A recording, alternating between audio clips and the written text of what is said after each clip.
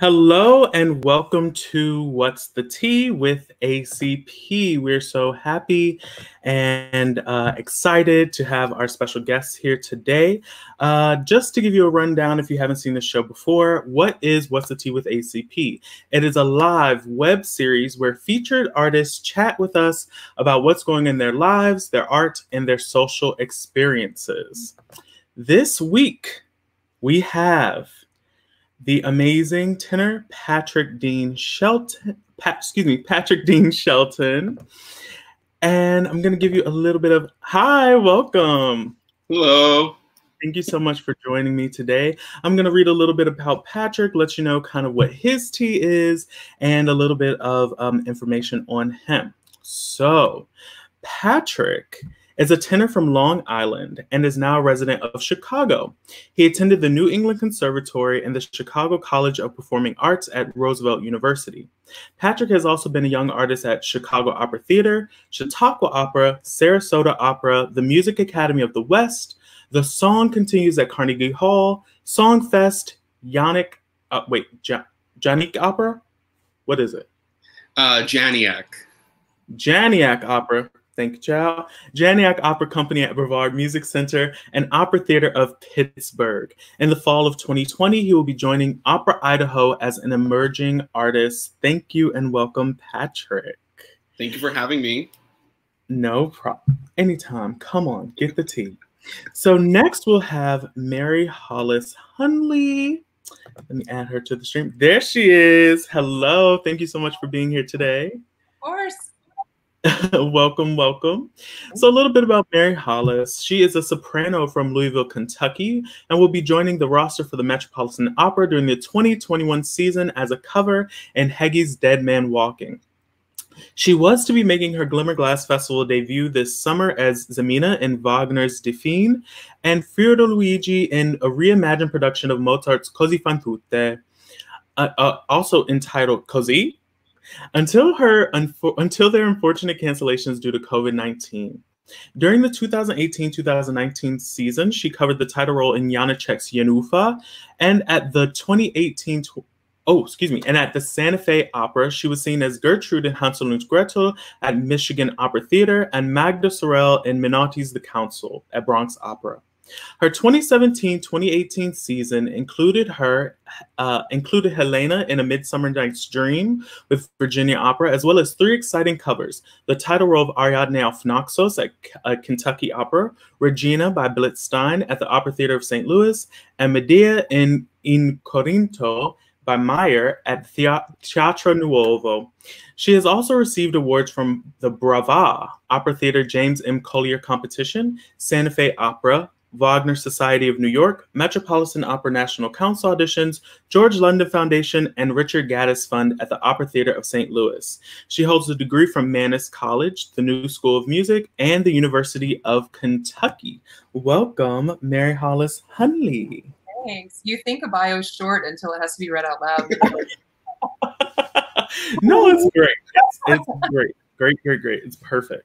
Um, so I just want to let everyone know we do have a Venmo set up through our Compass Projects. If you would like to support the artists, please feel free to donate to that Venmo and help support artists in this time. We know we're all looking for jobs, trying to get it and make it and do what we can to, to keep going in this art form. And we want to make sure that our artists are being supported. So you can do that at our Compass on Venmo.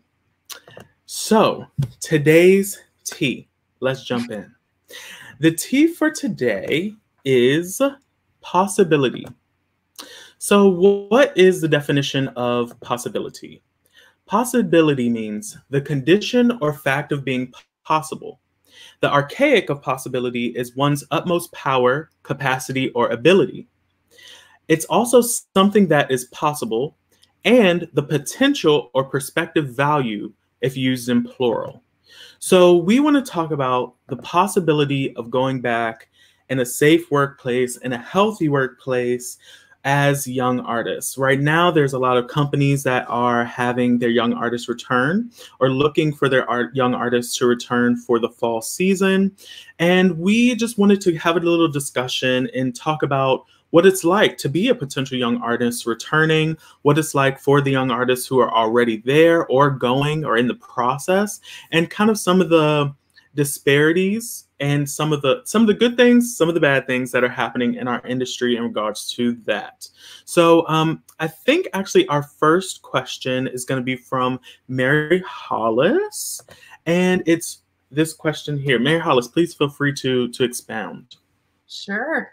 So when when I heard about the possibility, this was one of the first things um, that came to mind. And I mean, first and foremost, uh, I guess it's a caveat, but I also have a degree in arts administration, and I am so passionate about that side of things. And I've held a position um, working for an opera school for many, many years, um, and it has brought like such joy to my life, and also you know, it's so great to have perspectives from both sides. Like I mm-hmm. never want this to be an us versus them, but the safety involves us all. You know, we are potentially putting the administrative staff at risk when we come. We could be at risk depending on the, the situations at these companies. So, you know, these are the most important questions. And thankfully, we don't really have to do any of this work.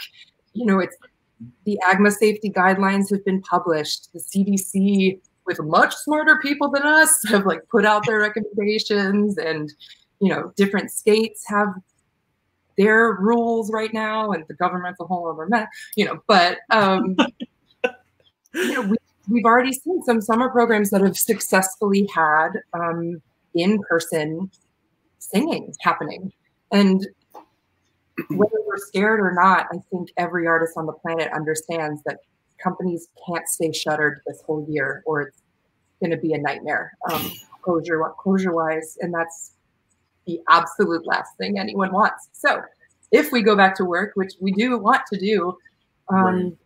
man i want you know as much outdoor as possible and one of the saddest things is like i think homestays need to come mm. off the table because you just you just lose so much of your control when you're staying with other people and some of the most important people in my lives are the um, donors that i've lived with at different companies um, but yeah the quarantine and the, necess- the necessity of that and you know putting better filters in your hvac machines and trying to clear rooms out and air them out in between rehearsals and shortened rehearsals and um, you know, those singers' masks, which look like you know, the, uh,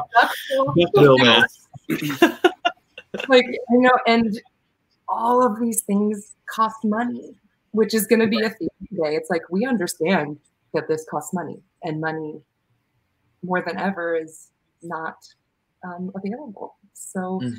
yeah, it's just I think the key is dialogue. It's open communication between the companies and the artists, and it's are you comfortable with these things? Please feel free to have conversations with us. And yeah, rapid testing would be amazing. Mm-hmm. Definitely, um, you know, temperature checks every day, even though we know temperature isn't really a great sign anymore. Um, right. Just flexibility and conversations and yeah. Yeah. no, I wanna. I I think too. There's this the dialogue thing is the biggest um, issue for me personally with all of it.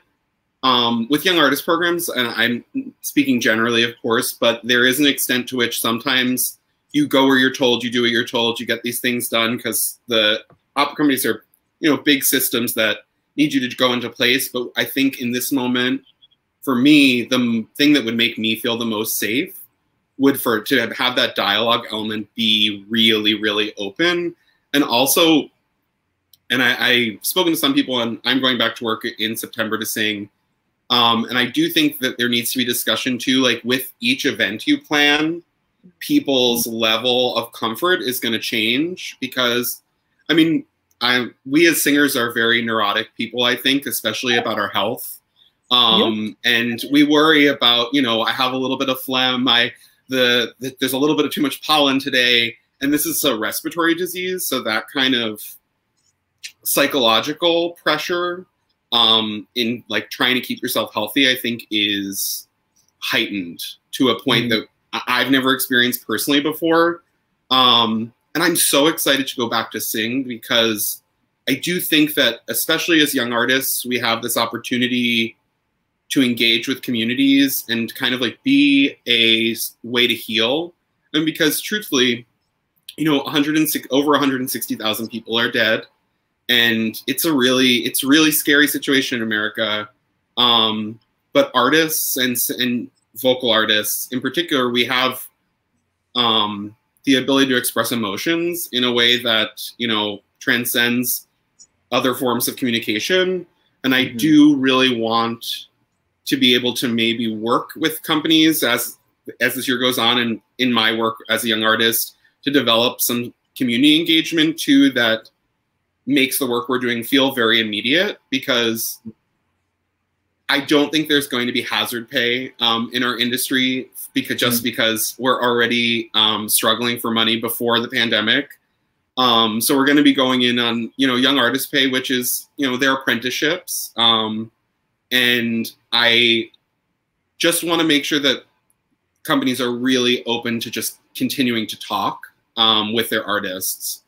But I and I also think that the companies need to be willing to potentially cancel things if their artists are become really concerned. Um, and I I'm interested to see what happens with that because um, I think, and I've heard that there are some people who are looking to put people back into schools, doing outreach and things like that. And I I don't think that can happen um, personally in a safe way. Um, and I just think it's going to take so much more creativity than we've needed um, right. to do things. Um, but I do, I want companies to really take their time and keep the dialogue with their artists as open as possible. And I think that that goes beyond COVID too, with safety, um, mm-hmm. in terms of like EDI, B things that we've been dealing with, and then also like sexual harassment. I think the dialogue is really, really the key to all of this. Um, mm-hmm. Having places in your company and having people that your artists can go to and express their concerns where they will really be heard. Um, and I think this moment kind of opens that up since we're going to be going slower no matter what. We're going to have less artists um, coming into work. We can have these maybe more difficult conversations that we don't always have time for um, now. And I think it is important to not rush into this moment um, and really take it one day at a time together. And I think that's going to be really important going forward. 100%. Um, I I like where you touched on EDI looking at a space for safe workplace. So for people watching that may not be familiar with the term EDI, it means equity, diversity, and inclusion. Now, people may think these are all the, the same things, right? But equity is creating space for people who are already maybe disserved or have been uh, mistreated and creating a space for them to flourish by maybe adding a little bit more making the box a little bit taller right?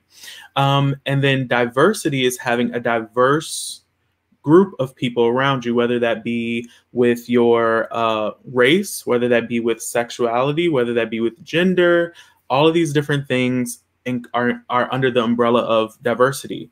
And then inclusivity or inclusion or however you however you want to say it is making sure that everyone is being heard within those different parameters right? So you may have a company who has a very diverse workforce but if the people who are being who are you know the workers are not being heard by management and management is also not diverse, then there's no inclusivity there, right?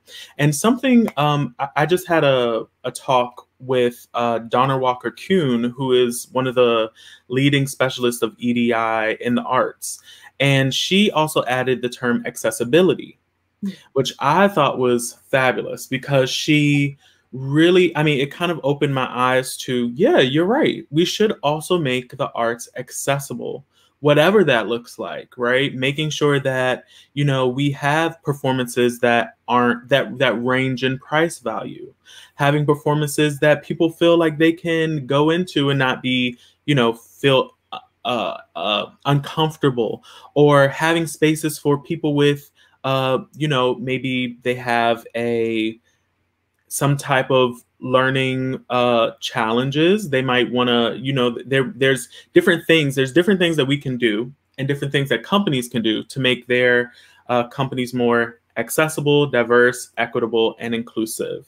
And um, I think that is a major part of the workforce workforce for safety, right? Because yes, we're talking about COVID, but we're also talking about a new way of thinking when it comes to all of these things, and and obviously sexual harassment as well. Um, so I I like the points that you all brought up because it's a big deal going back and doing something that is singing right now is is a risky business, right? I mean, we produce particles that are smaller than the typical part- particles because of the way that we breathe, right? As a singer. And so those particles, this is just, I'm giving y'all some information. I'm giving y'all some tea, honey. Um, those particles are smaller than the typical particles uh, when we're speaking. So when we're talking about being in a room with, you know, five, shoot, four other people, and you have to sing a quartet, and even with social distancing, there's still those lingering particles in the air. So I liked what Mary Hollis, what you were talking about of changing air filters, making sure things are filtrated, making sure that there's air moving in the space. Um, I, could you talk a little bit more maybe about that? Like maybe um, what you think could be, you, you mentioned outside performances. Do you have any ideas of what that may have a possibility of looking like?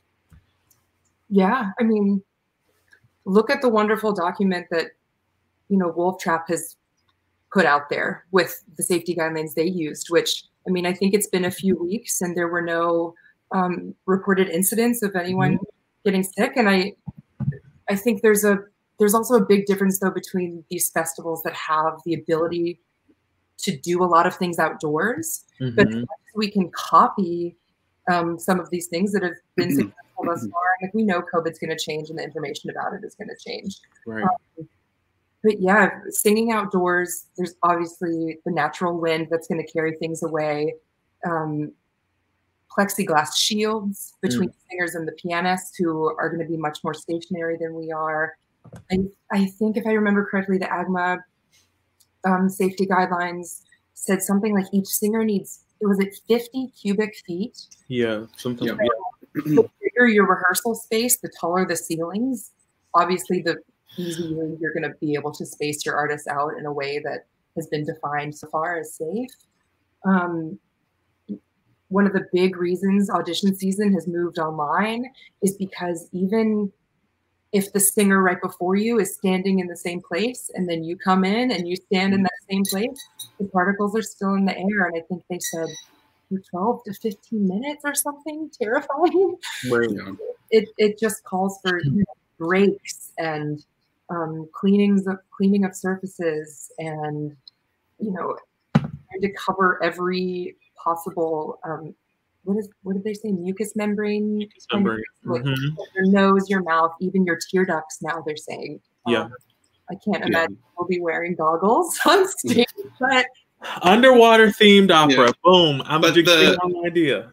The the real thing with the indoor rehearsals though is that at the moment they the they think that the biggest risk is particle concentration. Mm-hmm. And that's sort of when you rehearse inside, if you don't take breaks and you don't have the highest quality HEPA filters, mm. um, the air can't clean, and the particles don't just sit in the air; they build up and get more concentrated. Um, so I do. I think the outside thing is is really interesting, and I do think at least until the fall, and then I guess in, at some of the southern companies that have you know less winter, mm-hmm. um, we do really need to be thinking about like how can we be in parks what community group what like uh, like and i do think we companies need to really be looking at the community outside themselves mm-hmm. and seeing like how can we partner with a group that has space here that's outside or what can we do to be to like um co-produce with like a theater company that's also looking to do things outside because i do think co- opera companies have you know finite resources and a lot of times they rent the theater that they use normally anyway. Mm-hmm. Um, so I do think like putting things in the street, figuring out ways to do things at a distance. Kansas City, um, I don't know if either of you know Danny Belcher. He just sang on a mm-hmm. concert with yeah. Kansas City a couple days ago, and they have an arts district in Kansas City with these big parking lots in it. Um, and they had people out in parking lots in the big circle, socially distanced. The singers were on a stage, probably almost a football field distance from the audience. Mm-hmm. And I, when I looked at that, I was like, I would do that. That that I mean i would do that. That seems like something I would be very happy to do. Mm-hmm. And it's kind of a nice way to get. I, I think we also we have this responsibility as you know an arts organization arts organizations and artists that work with the community to also kind of help the community figure out how they can do things and gather in a safe way too. Mm-hmm. Um, and it's our responsibility both like to our audience and to the community at large to be encouraging good behavior as I, I, hate to say it like that, but in terms of um, COVID responsibility, because part of the reason that we we can't get back to work to normal is because the pandemic is sort of raging out of control to an extent in America and that's why Europe is going back because they've been able to, in some countries, get things, uh, get infection rates at a, at a lower level than, than we have. Um, so I do think we sort of have a responsibility as leaders in the community to also, when we do present anything, to make sure that we're being really clear with our audiences about um, like this is the right way, this is the best way to keep everybody safe and then I also just want to go back to this uh, the EDIB thing and where mm-hmm. it intersects with COVID, because I do think that there's sort of like the equity and accessibility thing are two things that, given the recent events um, in regard to the murder of George Floyd and, and the way that the COVID, and then separately the way the COVID 19 pandemic is affecting communities of color, there is like a really important intersection of talking about and dealing with, with this disease and presenting things and actually reaching in and um, engaging with communities of color um, who've been affected by this. And I think too, in engaging young artists and talking about safety, like if we want to be really equitable in terms of race, we do have to look at how COVID has, um, you know, affected communities of color disproportionately. And then also on the part of accessibility, I have a lot of concerns because I have many singer friends that have pre-existing conditions, mm-hmm. and I do think that companies if they've offered contracts to people, which many have, they need to consider things like letting some of the young artists maybe not come and do everything in person so that they can keep their artistry up but not have to risk their health because mm. making the choice to go back to work right now like i'm you know under 30 and i'm pretty healthy for the most part. Like my risk my base risk level is lower than other people's. And i do think we need to give people the space to not take opportunity away from them mm. um, because of you know health conditions or pre-existing conditions that they have no control over um, and i do think as like you know arts organizations that are ostensibly liberal-ish mm. um, you know we do need to think about that and then and to bring our art form that thinking about that will help administrators open their minds to creating more accessible events too if they can personalize these issues with people they know, it's easier to think about how can we have a concert that, you know, reaches out to autistic, autistic children or mm. how can we bring a sign language interpreter in like if you right. look at people if you look at people as people these artists you work with as like whole individuals and you really learn about their experiences it opens you up to new ways of doing things i think 100% 100 and you know something. So we have another uh, another question, which is what uh, what improvements could be made in regard to the protection of young artists? Now we we kind of touched on this a little bit with just our general discussion, but I think also maybe talking about transparency is a major um, issue. I think right now with companies still and how they respect their young artist singers and just singers in general, soloists in general. Um, making sure that there is a clear plan prior to the the artist arriving, right? So like uh, Mary Hollis, you mentioned Wolf Trap, which they just successfully they finished, and so they were able to have their you know season, though it was a little short, you know, it was a little small, but they were able to perform. They were able to express themselves artistically and put things out there that can be used now in the future, right? And they had such a comprehensive strategy mm-hmm. for what they're planning, what they were planning on doing, how they were running everything, and the way that their young artists were expected to also act as well as be treated, right? Because we have to know that as young artists, we also have to be responsible for ourselves, right? Your health reflects, yeah, your health reflects your your singing partner's health. Right. Because you have to be knowledgeable about these things. So, what other kind of so we know like transparency and documentation, are there other things like administratively that we could um, ask for or or want for um, the protection of young artists, whether it be for COVID or just in general? Mary Hollis. I mean, this is what I'm most passionate about, and my favorite part about my job at the conservatory where I works is that dialogue with the students and with the singers that are, you know, I feel like a grandma when I work there. These, these lines are all blurred. I mean, for decades in the industry. Mm-hmm. What level are you? Uh, whatever. Um, but yes, it's it's the dialogue, it's the transparency.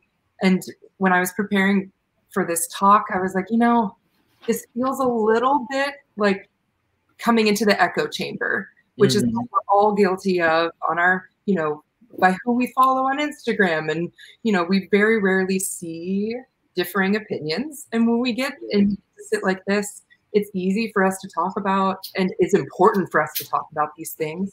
But the goal is to have a seat at the table with these administrators and to use each other as, you know, different perspectives and, you know, learn from each other's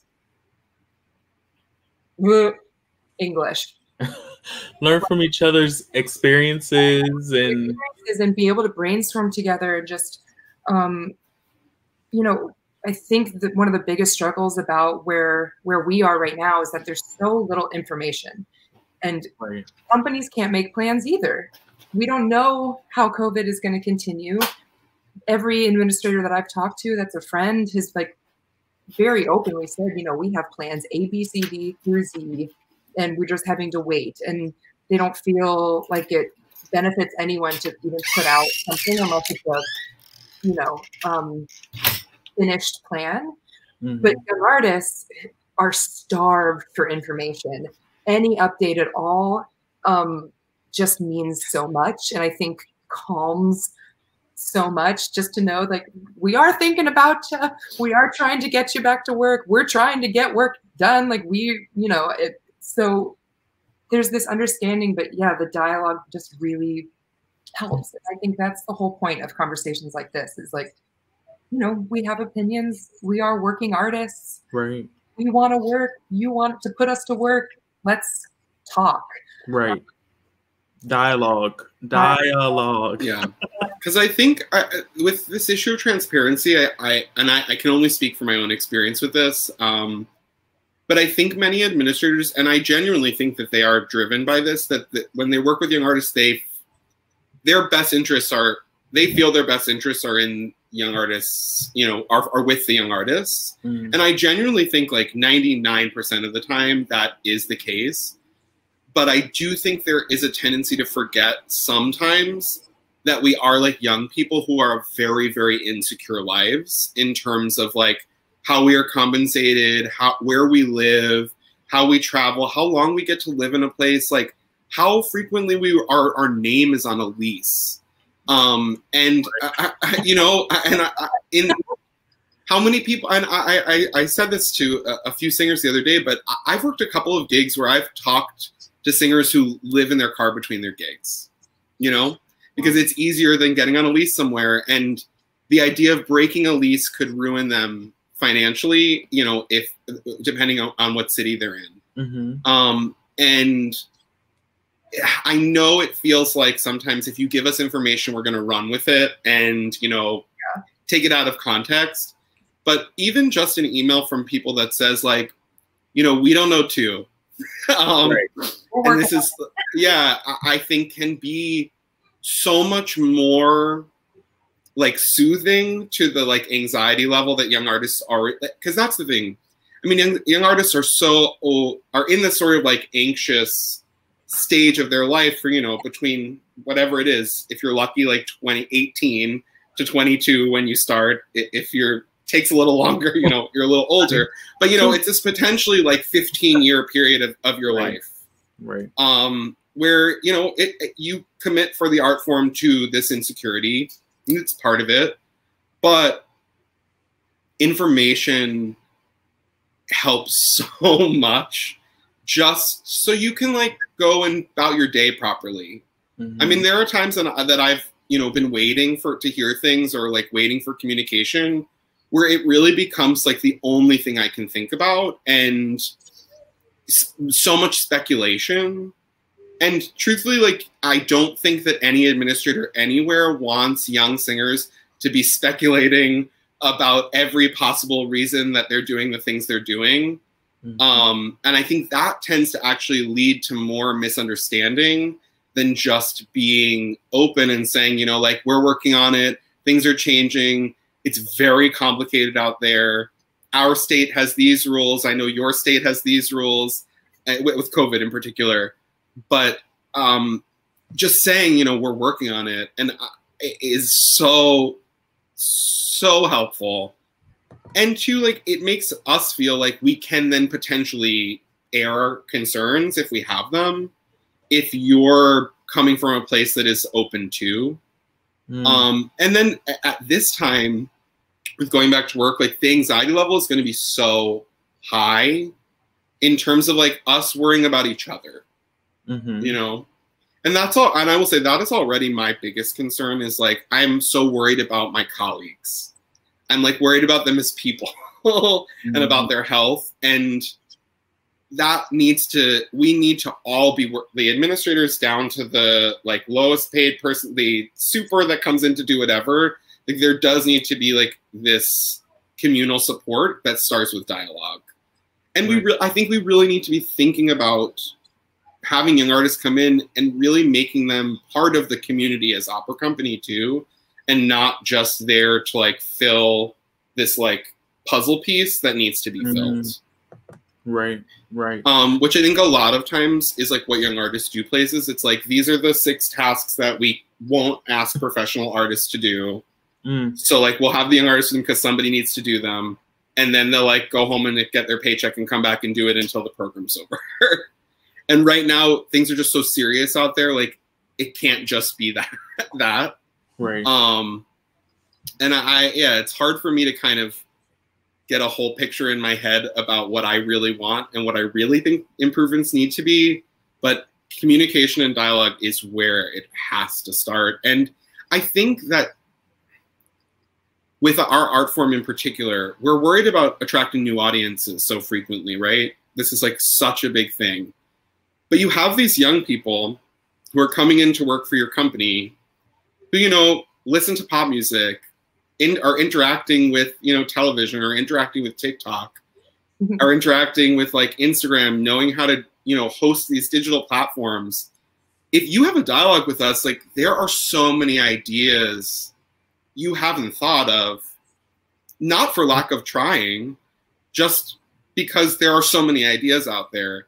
And I think in this time, young artists, companies to look to young artists to drive a certain amount of the creativity that we need to get through to the other side of whatever you know a post covid or a contained covid world looks like right right go ahead mary hollis sure. Just one other thing like I, hi kimberly i saw your post um along the exact same lines like you know she's asking innovative types of performances um, right. yes again patrick mentioned, you know, these decisions are being made. Yeah, thanks for chiming in. Um, I'm really excited about what some of the things this upcoming season are going to look like. Some of these new performances, you know, singing outside on a stage with a big old screen behind us, you know, while people drive in and like park their cars like an old drive-in movie or right. you know, we, um, you know, yes, I think um, what was mentioned earlier by Mr. Ortega, you know, we're going to have smaller scaled pieces. This is a perfect opportunity for new works to be created, new chamber operas. Um, I think we're going to find more collaboration between the film industry and the opera industry and we're going to be filming operas mm-hmm. in rooms or outside that are just going to be then rented out or streamed out or you know that's what's going to be sent to schools as outreach instead of in person i just think there's there's so many opportunities for this industry to evolve and exactly now to attract new audiences and right. kind of take some of the stigma away and there are so many brilliant people in this industry. A lot of them are just starting out. And this is the time when we're going to be able to fund this sort of level of like new work and get this stuff out there. And exactly, it's just going to, it's just brainstorming. It's a round table. I want everyone in the, I mean, it's such a pipe dream. And it's like, get your head out of the clouds, girl. But we have the time. Yeah. We have the time. I'm sitting at home. Well, Glimmerglass is over. what am I doing? Like, I don't know. I just I think it's so exciting. I think it's so hard to find any silver lining right now, but if there is one, that's it. Like mm-hmm. this is when we're going to be able to create these new like we can create a new image for this industry which is necessary. I think I really but I really think too there's this moment where like opera is so insular. You know, Mm. We do this thing, we think about opera as this particular sort of like box. And, e- and even from the smallest companies to the biggest company, it's still this like opera box. And what I really want is uh, ecumenical is like not the right word, but interdisciplinary maybe. But mm. like I, am in Chicago, I want Lyric and COT and the Art Institute and the dance companies that are here they're none of them can do what they were supposed to do before. Intercorporation is affecting all of the arts. Are these companies getting together? Are the heads of these companies and the artistic directors of these different art forms getting together and talking about how they can do things together mm. to, to just before even the creative part to share expenses on whatever they're going to put forward so that each one of them has to take less risk individually in this time where you know making money is not is going to be hard and getting people to come to things even if they're outside is is going to be harder you know? But i i really think we have this moment where we could be expanding this box and really like throwing the box out getting rid of the box. I don't think the box helps us. I mean, I love I love big Verdi opera. I love big I like I love big Mozart opera. I'm not saying that there's not a place for us to come back and be able to do these big traditional you know, war horses that are, are, important for different reasons. I mean, many of them need to be recontextualized, but that's like a whole other conversation. um, but I'm not like I, am not a person who's out here to like destroy opera. I, right. I love singing traditional repertoire. I, I prefer that as a, as an artist personally, but I also don't. I mean, I can't ignore the value that is new, right. and the value that is that comes from you know our art reflecting our experience in a way that is like actually visceral right. um and you know prescient to our ac actual lives um but i do think in this moment what i really really want to see is arts leaders coming together from different disciplines and figuring out what they can do together mm. to be better members of their communities because like that is we need if we want in funding for the arts in America is private. So if we want people to come back and remember that we are like just as important as, you know, Handmaid's Tale or whatever TV show you can get streaming at like any time, we need to show what is valuable about us to people and invite them to be a part of that because eh, when we create if when we create real value for for audience members they create value for us too. Like that feeds our artistry, and mm-hmm. that makes it so we can do uh, more things. You know, the more people that are interested, the more we can do, and the more different kinds of projects we can do. And I just think we really need to step outside of this like opera America, opera is this thing mm-hmm. box, and also look at what theater companies are doing. Like, yes, AGMA has come up with guidelines. Yes, Wolf Trap has come up with guidelines. But like, what are the theater companies doing? What are the dance companies doing? How are the museums handling this? Like, I really want to see from a safety perspective too, mm-hmm. some of these organizations like really work so that you know the arts are kept safe, not just opera. right. like the arts in America are kept safe because we have to really care about the arts in America and really make people care about the arts because the government is never going to, as it stands currently. Hmm. And now we really have to double down and reinvest in our communities in a way that we didn't before, or maybe we're trying to do but couldn't quite get at. Mm-hmm. But now we have time to like get in there and, and do these things. And I think too, we need to be looking at how we can help non nonprofits that are non arts organizations too. Like, are we going? We're interested in dealing with sexual harassment. Like, are we sending artists to do work in women's shelters? Yeah. Like, are we? There is a lot of food insecurity right now because of the economy. Are we like working with local food when we have our young artists come? Are we sending them to help their like? Are we sending them out to sing for an event that a food bank is doing to get um you know non-perishables? Or right, right. And like I would be, I, I can only speak for myself, but I would be happy to also, I would be willing to do more things if you told me the reason for them was really going to help someone like in a way, in a direct way. Right. Yes, our singing does that on like an emotional level always but sometimes in, in moments like this, for me, I want to really be able to physically see how I can help. And I think we have a lot to offer in that regard. There's so much talent right. that, you know, like it, our voices can help bring people who wouldn't come to a charity event to that charity event. Or you have board members that really like opera, but maybe like don't pay so much attention to social issues in your city. Mm-hmm. If your singers are like interacting with those organizations, you're also bringing money to right. these other people that need it too. and I think we can get a little because it's so competitive to get money for opera. And I hate to use this term, and it's a little bit too harsh, but we get a little greedy about mm-hmm. protecting like these are the people that support us, and we don't want to like interrupt that that yeah. kind of system that's already set in place, right? Yeah, and I think we tend to try to go to other places to get people to be interested and then become donors in us. And I think we kind of need to work both ways. Hmm. Mm-hmm. That's, well, that's my take. Well, well, also that in turn, when things eventually return to a more stable state, it's the seeds that you sow now, right? It's the seeds that you put into the ground now, and you'll see the fruit of that labor later.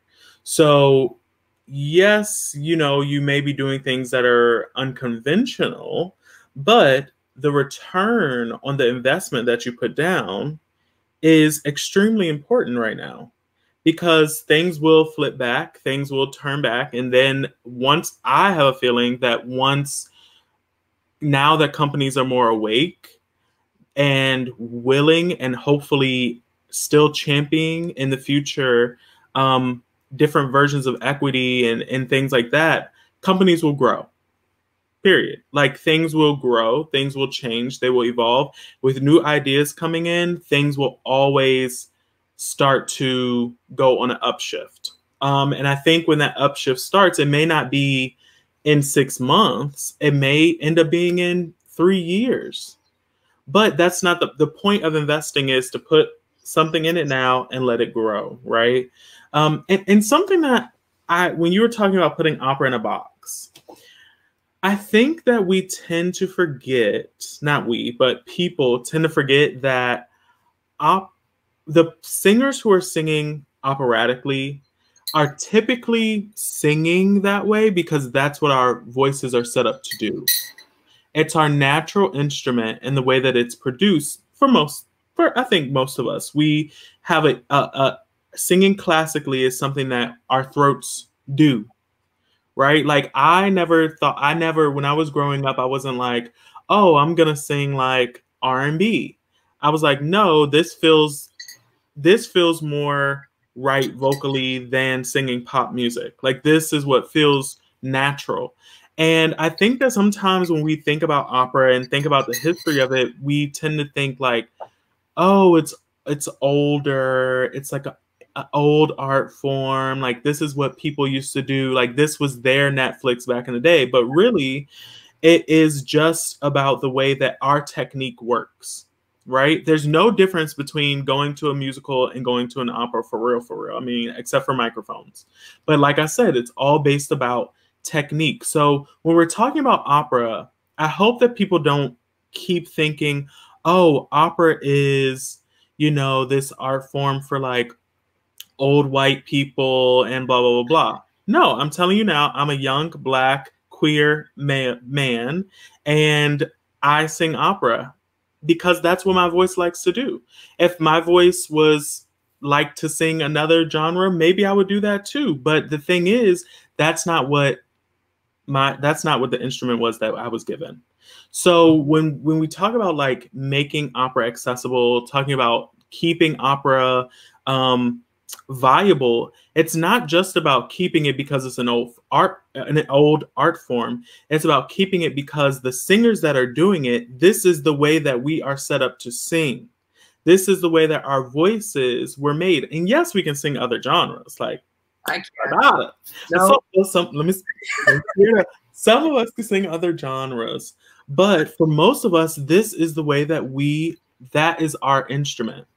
It's like you wouldn't tell a pianist to stop playing piano. No, they they they are attracted to the piano. That is what their their hands they're blessed to be able to do that. Right? So you wouldn't tell a pianist, well, um piano is like dead, so you're going to have to switch to like um I don't know, the drums cuz that's a percussion instrument. You know what I mean? It's like no, we we want to we want to the young generation of opera singers, we want to invigorate, we want to get people excited about opera. Yes, the technique is classical. Yes, it reflects times from long ago, but we want to be able to sing the way that our voices are set up to sing, but with current events. Like, come on. You know, it's it's it's as simple as that. It's just a different think, type of singing. I think people tend to forget that it's theater Right. I mean, tr- truthfully, I think that that is a lot of what causes that. Like, people are like, forget that it's just another part of theater. Mm-hmm. Um, and we just have this technique that supports our ability to do this specific genre of theater. Right. I mean, that's why I got into it. It's because I wanted to do musical theater and I was too loud and had too much vibrato. and and some very, very, very supportive choral teacher was like, here, do the like um, you know, all state competition in New York, sing a Copland song. And I was like, I, I, I love this. you know? But I, my attraction to this was always about theater. And I mean, truthfully, if you really wanted to get into it with me, like my taste in directors and things reflects that. I mean, I like the like weird. I, I like traditional work, but I like traditional work presented in weird ways. Like, I love. Yeah, I like a good Robert Wilson production where everyone's moving like two miles an hour through like a five-hour Wagner opera. Like, that does satisfy me. I know that's not for everybody, but I do think that that's the thing. Like, it's about making theater visceral. And then to go back to the thing you were saying about sowing the seeds, this is something I've been thinking about a lot with we talk about how we want to have more diverse audiences and like basically we want like black people and Hispanic people to feel comfortable coming to our theaters. Well, what are we doing for the community organizations that support them? Because we have not given them any. I mean, like I, I, I per, we have not as an industry really given anything to these communities. Yes, there are certain people who we have supported and you know there's the Leontyne prices and things like that but if we really want to expand our audience then we have to give to the communities so that then they feel like we're invested in them just as we're expecting them to be invested in us Right. You know, and I mean, I'm speaking obviously as like a cis white man, but I do feel that that's like where the real issue is. Like, you can say that, you know, we want these this, this different, um, you know, um, part of the population to come and be a part and come and feel comfortable. But you know how you make people feel comfortable? You like go to their home and you like make them feel like you're their neighbor who cares about them. Right. Or and not even make them feel, but let them know that you're their yes, neighbor, yeah. right. Let them know because because I think that that's the thing, right? Is that for years opera companies have been doing well. That's our next question, right? From the why perspective, what improvements could be made to outreach programs to better engage more diverse communities? So. Mm-hmm for years, opera companies have been saying, or companies in general, really, have been saying, "Oh, well, we go do outreach. We, you know, we sing to children in schools, and we, you know, we do we do that. We have we have funding for that. We do that, right? We have a lot of funding for that because that's where we get a lot of our grant money from. Right, exactly, right. But it's not one of the things. Actually, I'm going to pull this book up, honey invitation to the party. Okay. Something I, I learned reading this book was that a lot of companies go out and do outreach, but they don't actually foster the connection throughout a, a, a, a linear space and time, right? It's very chopped right? Everything is staccato. We need more legato movement. Okay, we need more connection in the sound. So I think that one of the things is creating opportunities for young artists to go out into diverse communities, but not just, oh, well, I'm going to have my Black young artists go sing something from Porgy and Bess to an inner city school in order to make them interested in opera. Right? Yeah, it's like people have never heard of pandering. Right. and so we need to think about things such as like, going to a community that is underserved financially, whether they be whatever race, right? Race, religion, creed, creed, whatever. Going out to those places and saying, look, we're young, we like opera, maybe you would like it too. Here's an example of it. Ask me some questions about what I do. What are, what do you do?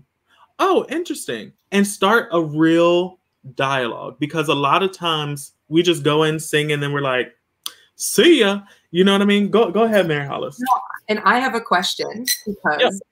as a privileged white woman, this is not something that I feel like I should have a stance on or what. And I would love No, you should. You should you well, should I do the work once I know what needs to be done, but oh, you know what I mean. It's just right. It's tricky. It's, yeah there's such an important thing though about seeing yourself represented.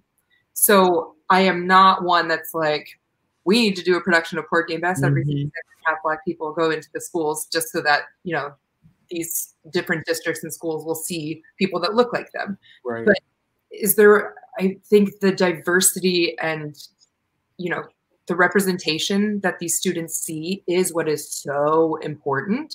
So is it more about what like what piece it is, like what um like not which opera you're doing because it's outreach, it's not that, but right. um, how do how do we balance you know the ideas of tokenism versus actually having a, a good diverse group?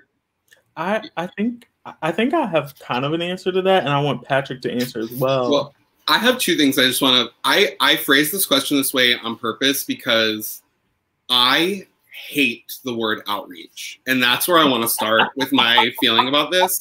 I think we need to throw it away. I think it's really colonial. I think mm-hmm. it implies that we go in and we serve, we give them something, and then we walk away. Hmm. And the word needs to be it needs to be called community engagement to start. Oh. And that's but it's a big thing and it's like a kind of currently unfolding discussion in this sector of classical music. Um, and I think that you're you're hitting on something really interesting, Mary, though, about representation in, in this um, kind of going into communities. But I think that there's the the other element is that we need to look at what the role of art can be. And I'm going to shout out to Chautauqua Opera for this. I was part of their first year that they did community engagement programs, and there was a really, really intense teaching element to it. So mm-hmm. at every performance, we had 40 minutes that we had to go into the classroom and teach lessons that were based on this kind of this style of curriculum called arts integration, mm. where um, a bunch of educators have gotten together and done a bunch of research about how you can teach basically every subject. Kimberly did it with me. so, hey, Kimberly. um, but um, how you can teach every subject through the arts. So we went into the classroom and we talked about the uh, aria and we wrote the text out and then we talked about different um, musical elements like um, timbre and tempo and we taught the kids about that and then talked about expression. And when you read certain text how can you use different elements to um, inflect the um, you know tone and the and, and the meaning of what you're saying? And so it was this english lesson about communication you know? And then when we went to do the shows the kids knew like the kids had already had questions. They already were thinking about what does art mean and we used sections of the piece we were going to sing to do these lessons. Mm. and i think that that is frequently with like so many arts education has been pulled from so many public schools. And even where i grew up when i was there i, I mean i'm lucky. We are my parents were civil servants but we lived in a district that had unbelievable arts and music. But even since i've graduated you know 10 years ago the budget has been you know destroyed. There are so many of the teachers that are so important to me like don't have jobs anymore. Mm. but i think that it's like really going in and showing people what art the transformative power of art and that art is, and singing and opera is more than a presentation it's like a way of it's a lens with which you can view the world and deal with the way that you move through the world. I mean, and that's the thing for me, like, and I'm sure for both of y'all, and you know, most anyone who enjoys music, it helps you process the way you, you know, move through your life. Right. And I, I think that making people, and especially young people, aware of that kind of um, like power of art gives them an agency, and especially with singing, you don't need anything to sing Mm. You don't you don't need anything. You don't need money. You don't need anything extra. Our bodies do it.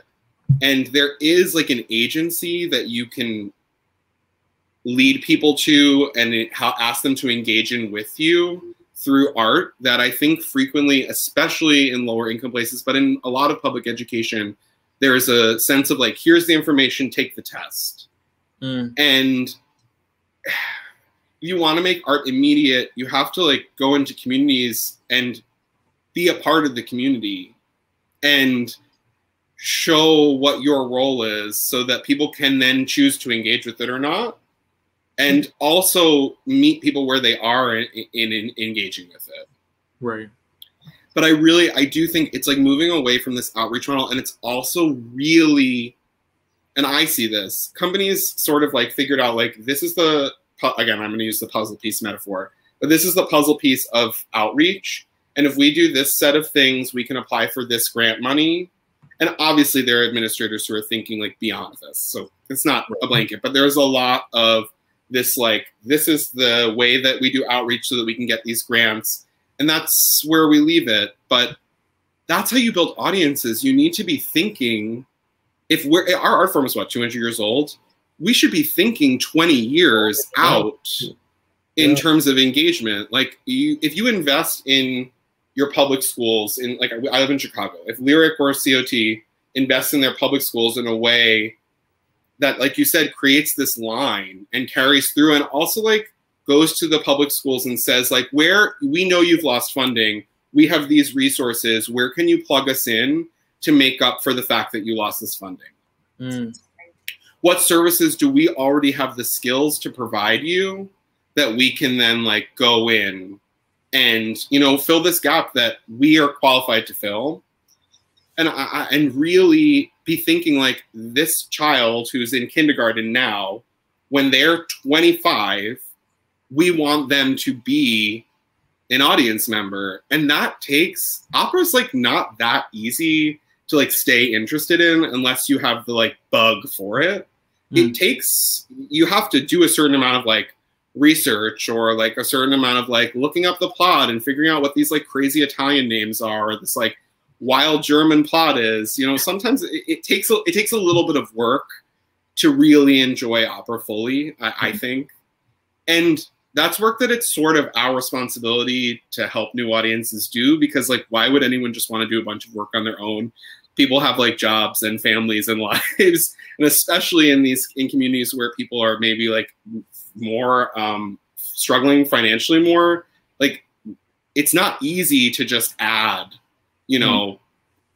oh we're gonna we're like you know we want our child to have arts appreciation you know like you have two jobs right. you're just trying to make sure your kids get fed you right. know like it's it is it's our responsibility to create the infrastructure for to create this line and i this is like a wild idea i've been having but so this british theater company um, does this program where they go into like inner city and poor communities that have community centers and they recruit they seek out talent and then they provide training programs and put on shows with them and i really do think opera companies need to be thinking regionally and together to be looking if we want more diverse artists we need to be going into like elementary schools in communities that are underserved and finding kids who are passionate about music and helping them. Because like even me i'm like privileged and white and from long island and lived close to the city.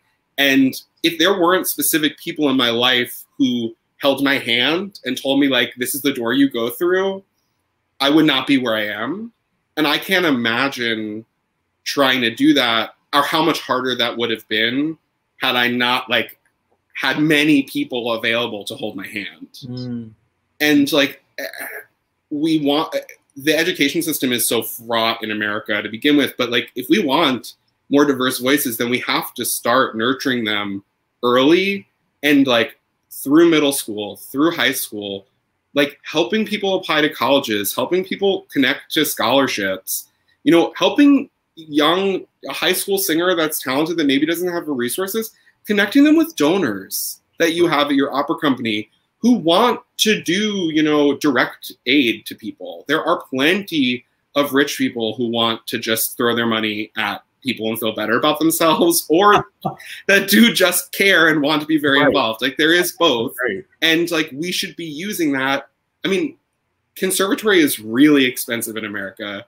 And to take on mm-hmm. that debt, first of all, like you have to have someone if if you don't have scholarship, you have to have some, we're going to talk about this later but you have to have someone to who can co-sign your debt and that's like it's a whole other thing that no one ever talks about right. but you know if your family doesn't have good credit you might not be able to go to the college you want because you can't you don't have the credit to take out the loan that it, mm. it, it you need to go to that school and that's where like we as this community that has access to wealth needs to be using some of that to go into communities and literally be providing lessons and mentoring to children and bringing it all the way through until they're ready to do young artist programs. Mm-hmm. You should be looking at your community and saying like where am I finding my artists for 15 years from now when I'm looking for new young artists? Mm. Because you could be involved in that process from the start if you really wanted to be. Right. Right. And you don't have to pick up when people are, are, are 30 and have had to make a bunch of choices about literally just surviving or doing opera. Right. And I do think we don't talk about that like nearly enough and that we really need to be thinking like it's it's true. I mean, it's like there are pipelines for white people to get things. Mm. You know, there are it, there are paths that like we have established networks because like America has like white people in America have power. Like I hate it's hard to talk about in a way that is like not uncomfortable. Mm-hmm. But like it is the way that it works in this country.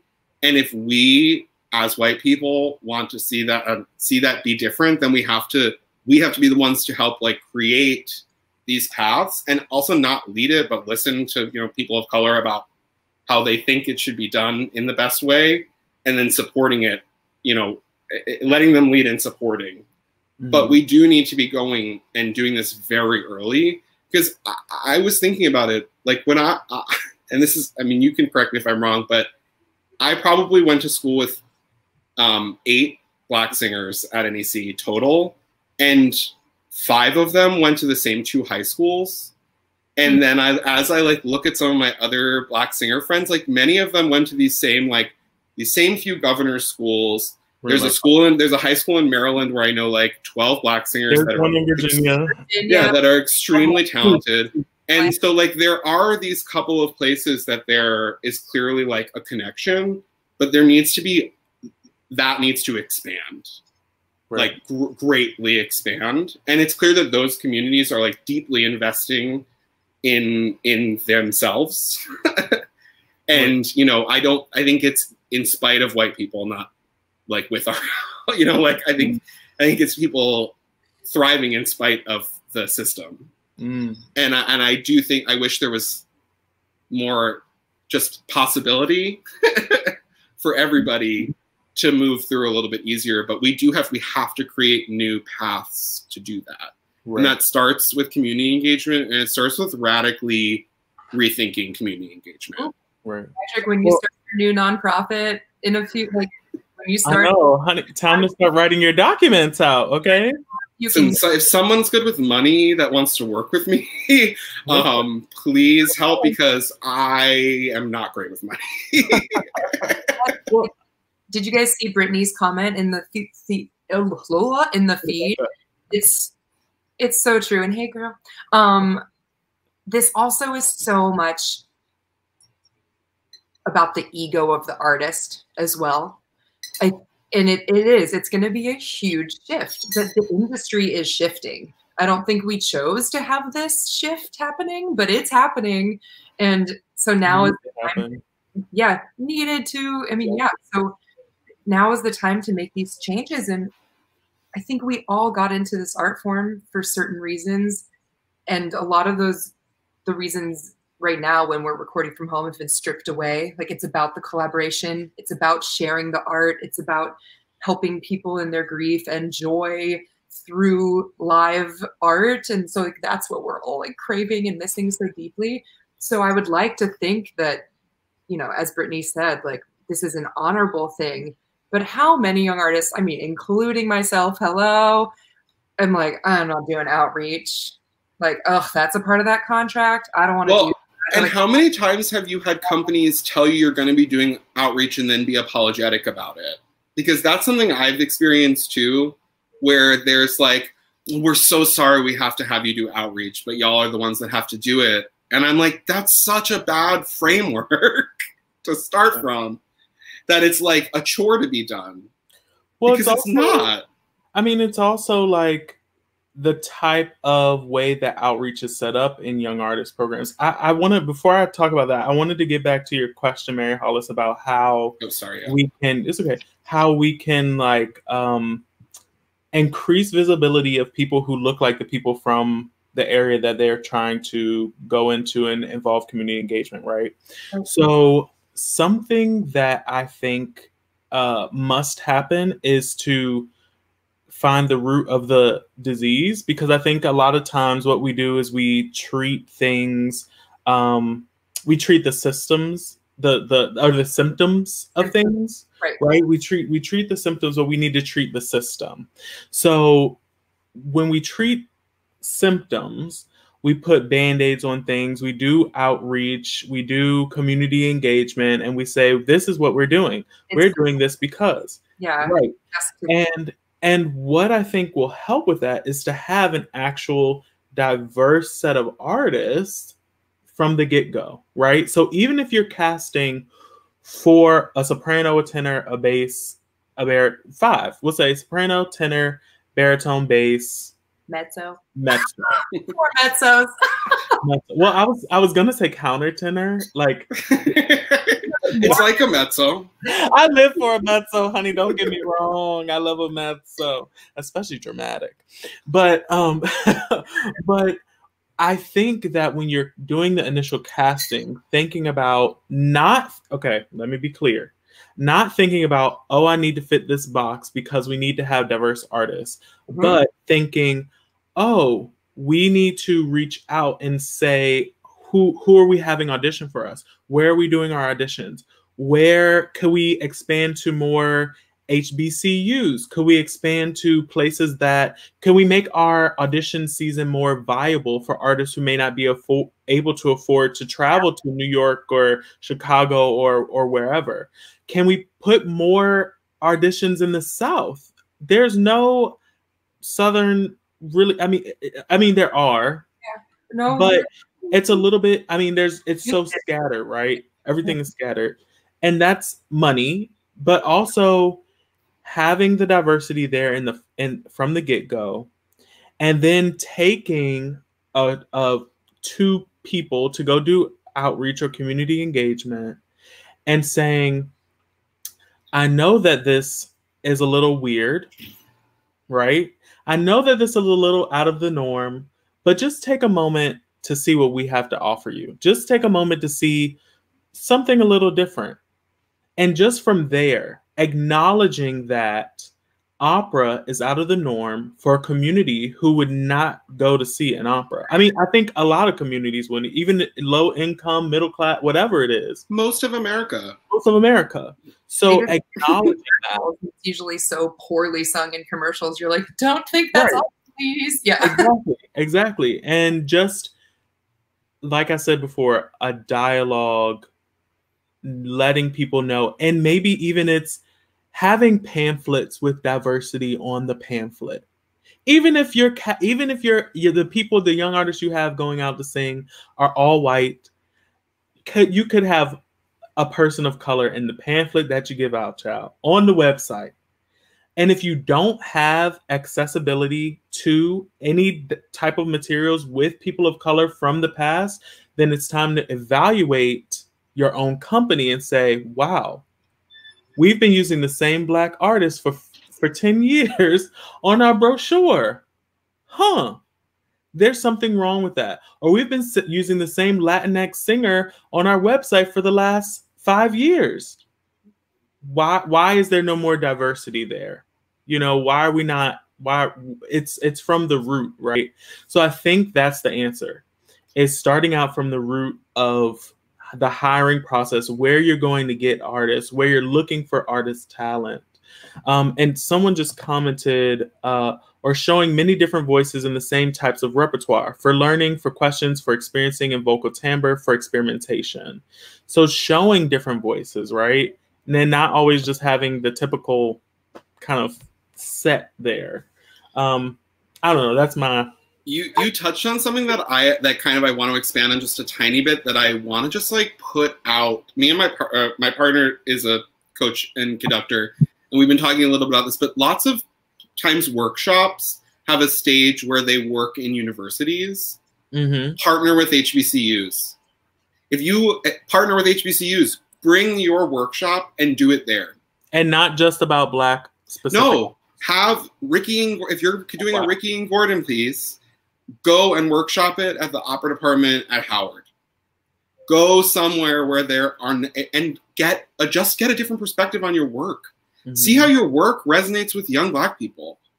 I mean, truthfully, like that's see what people like. Go work with people and and see how they react to the work, and then we can be better. We can be better informed about how we can go ahead and be presenting it.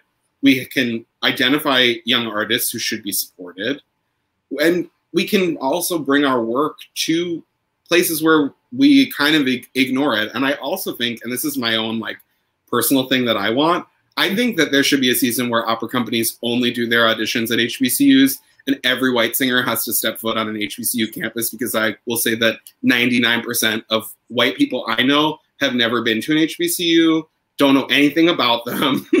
like, and then that is its own problem. And I really like, I want and I feel bad saying this, but I want there to white people to experience that little bit of discomfort that Black people feel and Hispanic Latinx people feel every time they come into a workspace and they're the only person that looks like them. Also, if you and don't I, know, audience member, HBCU is historically Black college or university. FYI, go, go ahead. But no, that that's that's a kind of my like dream scenario yeah. that you know well, white well, people have to experience what they don't even know that it, you know exists. things that they just don't know exist right well it's also tricky because right now well it's gotten better but um hbcus funding of their classical singers sometimes is not at its peak right um i mean it's a systematic thing but we also have to think like maybe the singer from the HBCU or from the small college doesn't have the same training that someone would have from a, a, a PWI, predominantly white institution, right? So it's also not just about that's the tricky part. So it's not just about going there and being like, we want to audition all of your students who are interested in singing in the opera, but it's also being like, what can you do as a company to foster relationships with the artists who are in your state, in your city, in your surrounding county to to make those connections and build those connections up. It's not just about going in and being like, "Oh, let's see what you got." It's more about being like, "Oh, well, we would love to have um, you know, we're doing this opera, we have a course space available. Would you like to come in and audition for the course? Or we have a space available for whatever it is, even, you know, admin spaces, right? Like we have to talk about those things too. Is making the connection, not just going and being like, well, we're here. Where's the talent? Yeah. I mean, Patrick, obviously that's not what you were saying to do, but you have no. to be, the, the thing is, because we need a dialogue, you have to be really clear about Yes, of course. be yeah. really clear about these things because a company will be like, "Oh, I just heard this great idea that we should just go to HBCU and like audition there," and you have to think that's probably not going to be the best step, sis. Probably you need to create and foster connection first, and then that's where you that's where you start to incorporate inclusivity, diversity, equity. You have to put in the work and it's hard. I think maybe companies believe that it's hard to do that, but they believe that it's hard to do that because there's no one on their staff who looks like me. Right? There's no one in that administrative space that has the the knowledge to be able to foster these connections or even if they don't even if they aren't black have people on your team who know how to build community engagement period period just overall right? So I don't know. I mean, that's just my my. No, thought. I think I think you're totally right, and I I mean it, that is that's the truth. Like the, the point of go. The, my thought is with the workshops in going, you would be bringing music staff with you. You'd be bringing composers. You'd be there would be a part of it that is also made, potentially um, adding to the education that is already there, and that way, like you would be building, you know, more of a dialogue um, but yeah, no, I agree, and I think it is true. There's a lot. I mean, and we do a lot of slap in opera, a lot of slapdash, sort of like, nah, this looks like like it's outreach. This looks like right. we're engaging the community. Um, and I mean, I think again, I think a lot of it is like comes from a place of earnestly right trying, really, really thinking that it's the right thing to do. But you know, you can think, you know, you can be walking down the street and you put your coat over a puddle for someone to step over and they step on your coat and fall into a sinkhole. I mean, you you know what I yeah. mean? like mm-hmm. you can think that you're doing the right thing, but it doesn't necessarily mean that you that you are. I, I want to point out a comment. Yeah, I have something to add to Gina's yeah. Because um, that's a great. I think exactly. So. I mean, exactly. Something that OTSL does so well is their AIT mm-hmm. program. Yes, the yes. artist training program that is young local people. They foster those talents and offer training and scholarship competitions at the end of it. Mm-hmm. And I, I mean, Jen Kano talks about it a lot on her Instagram. Just you know, even having people in that level of the career talking about these things and like being so supportive and mm-hmm. a lot of the singers i've worked with have come through that program i was going to say that yeah the governors yeah. the arts that we've talked about i went to one in kentucky that's great mm-hmm you know, Virginia, blah, blah, blah. Right. Exactly. It's it's getting stardom young. That's the whole thing. It's yeah. exactly the whole thing. So yes, Gina, I think that's exactly what we're saying. And on this point too, and to the COVID thing, you know, the hovering COVID thing, hmm. I do think we, sh- and it, I mean, it depends on where you live, but like I live in Chicago, and I think that there's so much like world class talent in our communities that lives in these places, and we don't do enough. Fi- I mean, I, I don't always find that companies do enough of connecting those people then to their engagement programs too and mm-hmm. and helping let people know that this community is already there too and that it's there if they want to be like you know it's here and there's people here and companies need to be focusing more on this local art because it's safer too like people. It saves money it does people and in this time that it means people don't have to travel Right. And I do think like we could be spending time helping. We could have our established local artists helping our young, our very young local artists you know, to then hopefully become. Yeah, we have the time right now. Right. We're at home. Well, you know something that I've heard and experienced. Um, something I've heard and experienced throughout my time as a YA is that apparently there are companies who don't want to hire artists who are from the area, right? They don't want to hire local because they want their company to seem more diverse or more like international or national instead of h- hiring people who are talent who have done the things, right? That are literally 20 minutes away. You know, or or not even 20 I mean that are in the state who have reached out to the company and been like, "Look, I'm here for a month and a half. What do you have anything you'd like me to do? Like, I'm I'm here. I'm established." And then you don't hear you either don't hear anything from the company or it's just kind of like lost in the ether. It's it's yeah. weird. It's really bizarre. I think this is such a weird thing because I think it's a I think it's an optics thing to, mm. like from the companies facing their boards mm. and their and to me if you were championing local artists and building an audience around an established local local artist and people know them and and even like I, I mean i worked at a company recently where they hire one person who's frequently and they had a following at the company right. they do they and do. and and if it's a community member that yeah really brings in new money that I and uh, uh mm-hmm. opens you up for for more fundraising potentially because like there is a cachet to that you know we're bringing in this person they're like a local hero but there's a lot of this like energy and i think it has to do with um like the fact that we're in like a Europe a eurocentric art form where in america to prove ourselves to this like elite class of donors we like must be more than like local American artists. We mm-hmm. must be like international to have that kind of value. And I mean that wow. has gotten better, but it goes back to the very beginning of class of opera in America. And I mean, truthfully, the only reason we started to have American artists using their like non-Europeanized names was because World War II happened and we didn't have access to bringing European singers here. So like people like Eleanor Steber could be American artists mm-hmm. that were valued as Americans.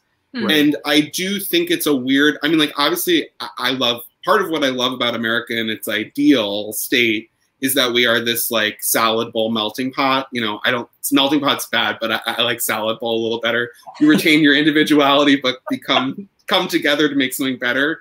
Um, and that is important. Like I'm not saying we should stop championing like you know people who come here to participate in this great operatic system we we have but i do think we should value like local artists and american artists more and that if you really invest in them in a way and allow them to really know your board you can they're they're it's easier to get money from people because they really they're they're part of the community with the artists.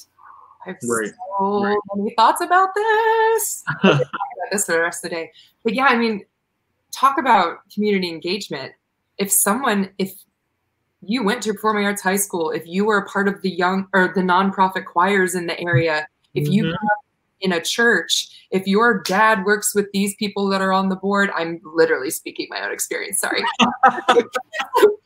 you know, I mean, my mom's friends who've never been to an opera in their lives would probably come see me. You yep, know, who, who knows if that's gonna like create long lasting new audience members? But again, I and Morgan typed something very interesting. Yes, yeah, let me pull that up.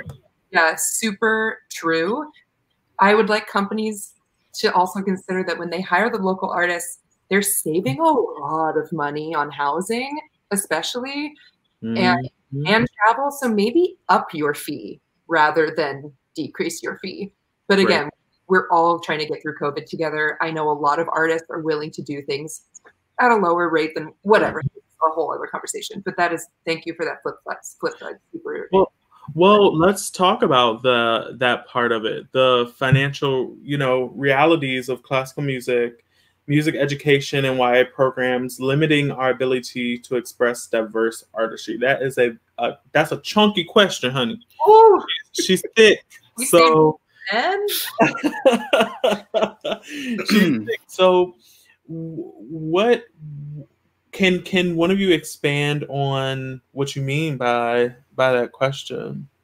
You want me to go? well, um, I I mean personally, this comes from like uh, I think for me there is an element of classical music in America, especially opera, that is very, very, very, very expensive. Yes. And people are not upfront about that at the start. I don't think always. Sure. Um, and I, I, I truthfully, um, and I don't think that people are always encouraged to make the most responsible financial decisions early on in their careers, especially with school. Yeah. I really, really pers- I, I loved my experience at NEC to an extent. There were things about it that I am very, very thankful for and there was a lot of other stuff that I feel like I paid an exorbitant amount of money for trauma. Um, yeah. um, tr- truthfully, I had the most one Tanya Blaich, one of the best diction coaches in the country. Shout out to Tanya Blaich if you're there anywhere. Like I will thank her forever for what I was given in that regard. Art song exposure, great. Everything else, really crazy, really disorganized a lot of the time and really expensive. And you have to make these decisions about spending enormous amount of money that's going to potentially be with you for the rest of your life. And that allows people with a certain of a certain class to make this choice to make the choice to become classical musicians or opera singers in, in, with less concern than other people do. Yes. You know. and I think, and I, I was trying to think, I was trying to think about myself and like my relationship to this, and my relationship as like a, you know, white man in America. But I think I'm a third generation. I'm third generation on both sides of my parents uh, from immigrants, and I sometimes have this feeling that uh, my generation it was too soon to be trying to do opera given how expensive it is and given like my parents really raised me in a way where they were like we will support you in whatever you want to do. We want you to learn and like really take whatever you're passionate about as far as you can. Because like they had to make different choices and their parents had to make different choices and their grandparents had to make different choices based on just like what was literally possible based on like how close they were to being you know immigrants right. and you know we've assimilated I, i'm it's easy for us to assimilate. but still, I think I probably needed to be like two generations further along in terms of like inherited wealth mm. to have to not have the financial element of pursuing this career be a constant concern. And I come from an upper middle class white suburban background. You know, mm. and I cannot imagine and I don't even I what it would be like if there was any more struggle with money. you know, I would I I there were two audition seasons ago. I had an issue with a company that I was working for where they offered us contracts and then they had a budget issue. Mm. And when we came back for the next season, our fee was cut by almost thirty thousand dollars for the year. Oh. I had to work forty hours a week, do a young artist program. How? Just to pay my rent. I would wake up at 4 a.m. to go downtown 45 minutes to go to a coffee shop, work for six hours, and then do lessons and coachings. And have to and then and then there be no understanding about like that causing stress on the ability to create freely right. or create with focus. And I probably went like four thousand dollars into credit card debt. I'll be honest. Mm-hmm. I had to do auditions. It was my last year in this young artist program. I had to get to and from New York. I made some choices that I was not probably educated enough to make about money. Mm-hmm. And on top of the fact that I'm, you know, whatever it is, probably close to two hundred thousand dollars in debt from grad school and undergrad.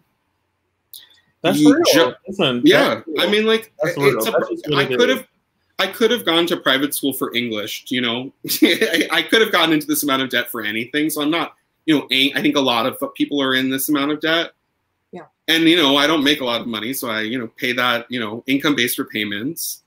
But I have to make, and I know uh, we all do, to really have a successful audition season, like let's just get to young, I'll jump to young artist programs. To have a really successful audition season, you probably need to take 25 auditions if you're like being, you know, but given how competitive it is, 25 auditions somewhere in there, 20, 25 is probably a reasonable amount.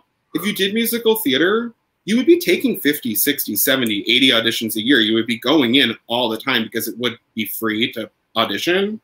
But like if you want to have really be put yourself out there. You're talking about, and you want to do 25 auditions before travel, just with applications, you're talking about two thousand dollars. Yep.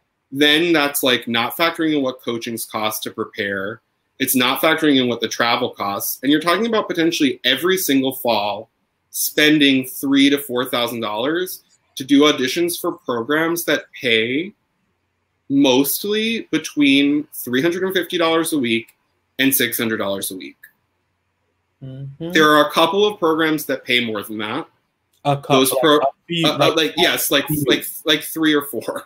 Yeah, and most of them are located in cities that have an, a higher cost of living anyway. Mm-hmm. So when you really adjust that, like, what does that mean? And then no one real, and then it's, it's maybe a few of those companies provide health insurance, which is like another thing. Maybe. So you're maybe you know, I know Lyric provides health insurance mm-hmm. for the Ryan Center people. Summer programs never, yeah. But summer, pro- yeah, again, summer programs never do. Right. So you're like talking about putting out thousands of dollars every year for potentially between like five and ten years to be making less than a living wage. If I mean, like, thank you to my mother and father, and I am very, very lucky. There have been times that where I have not been able to make my rent and they've helped. And like that is what it is. I i don't think we talk about this enough openly yeah at all. And it's and it's and i don't and i think frequently companies don't even know. I don't think that the board is thinking you know we pay the young artist this amount. What does that mean based on what rent is? I don't think the i don't think the i don't think it's malicious you know i, I necessarily no they literally have no clue. I don't know.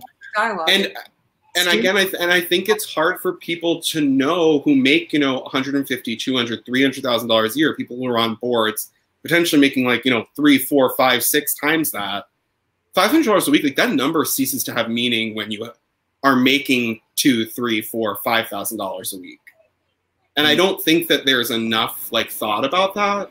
And so like you really have to if you're not rich you're committing to five to if you want to go the young artist route, you're committing to five to ten years of just complete financial insecurity.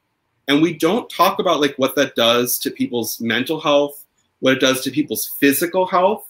Yeah. Poverty is traumatic. Like houselessness, which is a big thing with a lot of singers, traumatic. Like this, these are things that have like lasting, last do lasting damage to people's psyches. Mm-hmm. And at the same time you're asking them to produce art like I'll, I'll talk about it i part of my beard started to fall out when i realized how much credit card debt i was in and i was able to get it under under control and it took some time but i had to ask for a lot of help that I was very embarrassed about having to ask for Yeah. because we are always taught to present rich. I mean, truthfully, Always. Always. like uh, musical theater people can wear jeans and a t-shirt to auditions. I'm and I- I'm a bigger guy. I can't buy a suit at H&M for, you know, a $100. I have to go somewhere and buy a suit that gets tailored. And you're talking like if you want something that's not going to like have a hole in the crotch of it in mm-hmm. 3 weeks, spending five, six, Yep. seven hundred dollars just mm-hmm. to get to get one outfit to go to auditions. And gowns, Like, we don't oh feel my like God, gowns. I can't even. gowns No. And then I- I've been at companies where they have told girls at the dress rehearsal for things that they need to find a new gown. Where I've been places where they, you're paying someone, you know, five hundred dollars a week and telling them go spend your entire pay, go find a gown that fits you, Right. and spend your entire paycheck on it because we didn't ask you to send a picture of it first and we don't like it. And like that could put someone back on their car payments, on their rent payments, on their health insurance, on their student loans. Like it is, and and then we're being expected to present the. I feel like I have been taught, and it's never explicitly said, but to present as the donor class presents, so that you can make them feel comfortable with you.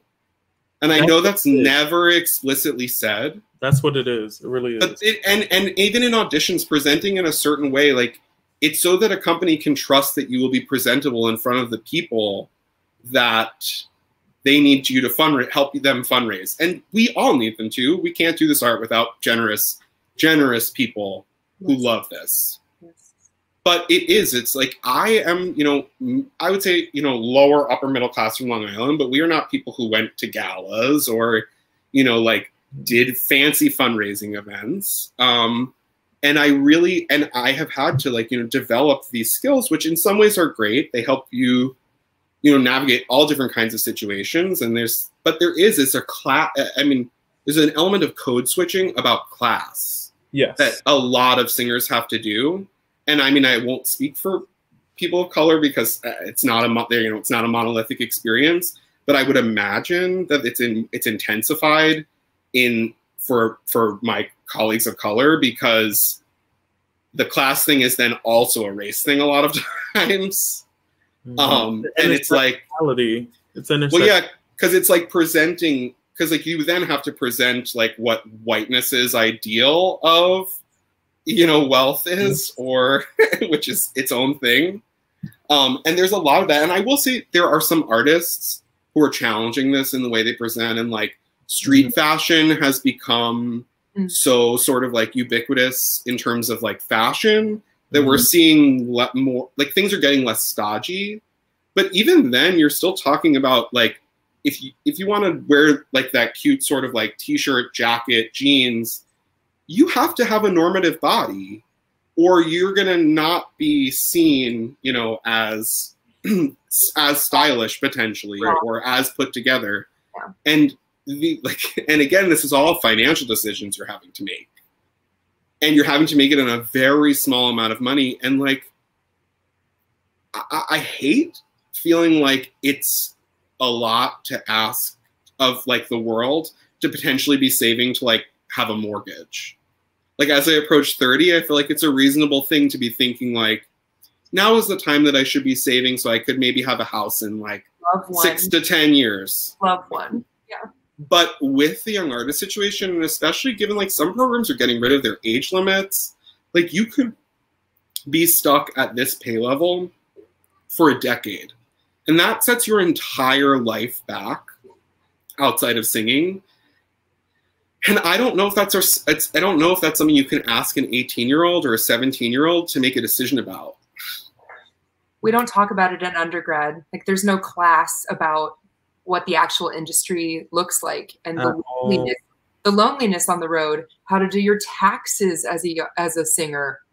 I mean, I had to file in seven states last year. I mean, these are the it's kind of like when you learn algebra for four years, but you don't learn how to balance a the checkbook. checkbook it's like, can we just learn some like actual real life Right. thing. And no, I mean, it's so easy to be starry eyed and bushy tailed and just be like, I love to sing and I'm good at it and I've been training in it and this is what I want to do.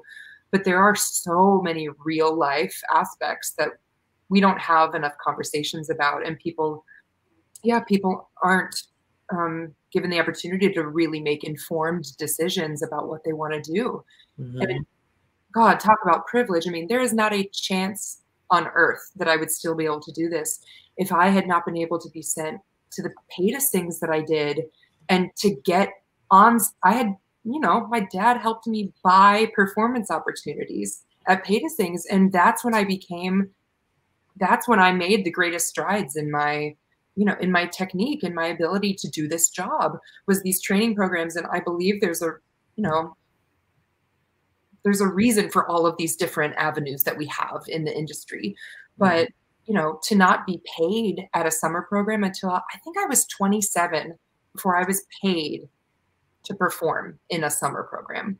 So, I mean, that's it is. It's it's the the inclusion and you know, the if you can work a retail job for your entire summer and set yourself up financially for an audition season, you can't do a young artist program. I don't know how you did that with a 40 hour job. Yeah, I, I did it. I did it very, very poorly, and I probably won't work at that company anymore because it was very. I mean, that's that's the truth. Like, I felt like the financial situation made it nearly impossible for me to focus on singing the way I had to for the kind of repertoire we were doing and the amount of time you need to just focus. I mean, right. I would get up at, at three, you know, you're done with your shift at 11, then you go down, I would walk down to school and do this like, it was because it was like a school and um, young arts program sort of at the same time. Go do my things, maybe go to rehearsal and be home at like five o'clock and fall asleep. You know, like, and then, and you can't do that when you're singing. You have to like, you know, go do your coachings, do your lessons, then go practice what you're doing. I mean, all the learning that you really do as a singer is implementing the things you learn in those like expensive hours. you know, it's like the time you spend in a practice room on your own. And if you can't focus or you can't stay awake to do it, and I mean, and there are people who can. And that was sort of how I felt. I was like, I felt like a failure because I couldn't do it. And I was like, there, and the whole time I would think there are women who have three kids and three jobs. Like your life and i would just stay there and be like your life's not that hard. Your mm-hmm. life's not that hard. But that's also like not helpful. And you and it makes it very hard to create. But i want to bring it back to then to entering education because i kind of left this out. And this is another like sticking point with privilege. To get into a conservatory or get into a very competitive undergraduate program you need to have been taking lessons of some kind and like that's very expensive. Very. I mean, I, I my I was very lucky, and because I was like really enthusiastic about it, my teacher gave me more time every week when I was in high school for less money, but it was still like a hundred dollars every week that I had to come with. And I worked in high school. I mean, like I like I, you know, I I it wasn't easy, but my parents helped and had they not, you know, it would have been a whole different story. But even then, so I'm from Long Island, and I am from a place where there's some people are very wealthy. Many people went to Juilliard and MSM pre-college, mm. and that is like so expensive. And I asked my parents at a one point, you know, like, can we do this? And my parents were like, if you got a scholarship and you stopped taking lessons with your voice teacher here, we could maybe think about making it work. Hmm. And I decided not to because I also like didn't want to put my parents ten thousand dollars into debt before I went to school. And this is like the whole pipeline thing though too, because this was a problem I saw at NEC. NEC's pre-college was fed like um, front half of it was from Walnut Hill. So like NEC's was basically recruiting in private college, like in private high school that was boarding school. So they were like bringing in on Saturday people paying forty thousand dollars a year for high school to have access to our facilities and things. And like, hmm. yes, those children are very talented, and some of them are on scholarships, but a lot of them are just very, very rich, and parents can send them to boarding school, mm. and they are having their level of access early on and just exposure to like very high quality teaching and just even performances is so much more than you know if you lived if you were you know impoverished at all or even if you lived like somewhere rural and just didn't have access and people come into these institutions where like some people are so far ahead already because mm-hmm. they were able to pay and no fault to these parents who have the ability to you know you want to invest in your children. Right. i get that. Right. but it is really it starts out at college being really unfair already like in that regard in like what you've been able to purchase access to. Right. And i don't feel like we like to talk about that but i do. I think it's weird that these schools have these pre-colleges that are like wildly expensive that feed and it's good they're they're you know providing education for young people but they use them to feed their programs to an extent. And there is like a pipeline for rich kids. Well yeah. I mean that's i think that's any almost any and, conservatory. Or industry. It's not industry. yeah. i mean it's it's it's a part of the whole it's the thing it's the system that works right and if you try to disturb the system, then the funding has the potential, this is the thing, has the potential to be disrupted. Now, will it be disrupted? Who knows? Because the system's been working for so long, no one wants to touch it. So I I think it's it's also about creating trying to maybe create new infrastructure that's more self-sustaining or maybe sustainable in regards to helping other people who can't afford those things. I mean, for me, I did not take voice lessons before I went to to college to undergrad. The thing was though, I was involved in the Richmond Boys Choir. Mm. You know, free organization. You did have to audition to get in, but it was a an organization, right? So it's also having, well, first of all, having more organizations for art in general for young people. And then also being able to have that art be accessible. Because, I mean, there were t- I'm I'm I did not come from a family with a lot of money or but thankfully my grandparents were there and my, my parents you know did what they had to do to get me to those rehearsals and do what needed to be done um, but I could never have taken a voice lesson. We could not afford a voice lesson. No, ma'am. I tried. We tried to do it.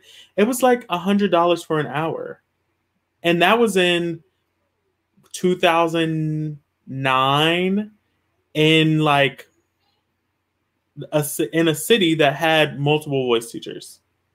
So, I mean, now now I teach in in my area. Thankfully, I work with a studio that has extremely reasonable prices compared to other places. Um, and thankfully, I'm able to be there and teach these students because I feel like if I would have been able to have that, you know, someone be able to come in and just, I mean, just even like four lessons before auditions. Thank, thankfully, let me put that in a, ca- a caveat. Thankfully, I did get into these schools and I had some natural gifts. Praise the Lord. And of course, being in the boys' choir, I was singing classically. I was a classically trained boys' choir member, right? So that there was already that there.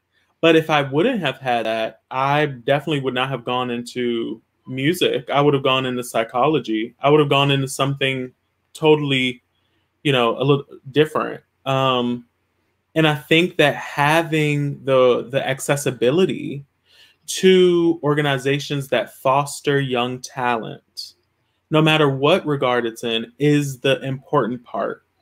Building up the ability to be able to have some, even if it's the smallest piece of experience, some type of experience to know how to conduct yourself for an audition or how to present yourself to you know, pe- to adults. I mean, you're 17 going into college and you're supposed to do all of these things and it's like how you're just kind of riding the wave until you get there and then you're and like then but then i oh. read something recently too that really disturbed me about this though is that apparently at some of these conservatories there and some of these bigger music programs there's telling people too that like we don't want to hear the 24 Italian songs anymore. Mhm. because we want young we want people coming into undergrad to show that they already have like more diverse interests in repertoire.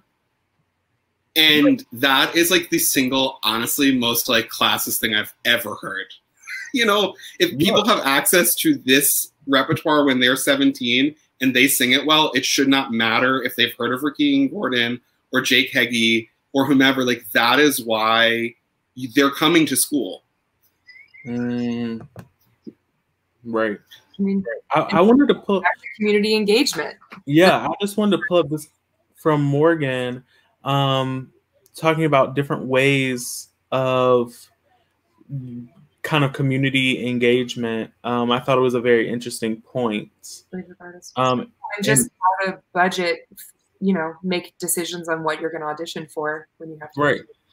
right. I I'm gonna say this though. I find this hard as a young artist. I think it's very, very, very difficult to expect twenty somethings to know who they are so clearly that they have figured out a saleable image for themselves Marketable. that then they can figure out where their artistry fits with the companies Hmm. and that is something that like I, I, at least and i know it's not everyone doesn't come from this perspective but at least for me that should be the point of young artist programs it should be going from where you have gathered all this information in school and then you are in these training programs where you figure out how to put it together to really figure out who you are as an artist and where you have this support system that in ostensibly should be guiding you from the professional perspective to what is going to be most successful for you to present yourself. Like that's the help i need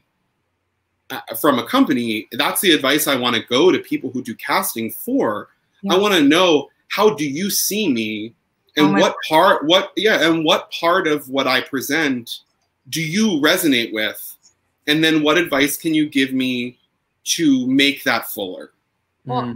the fear of, I mean, middle class artists, this has been years, but they did an article about the percentage of people that win these jobs during audition season. And as a soprano, I think it's like a 2% chance Uh, that you get into one of these huge so programs. And so the fear of not applying to everything because like maybe you know even if i'm the fourth option for somebody if the other ones go to somewhere else and they need to call me like people make these financial sacrifices because the what if is so terrifying Mm. um and so i'm and you kind of you how do you say it's so i mean i've been absolutely blacklisted from companies because i sang too early and made a bad impression or you know it and it takes years and years and years of like reworking your image until you can get back in but i mean i just think yeah it's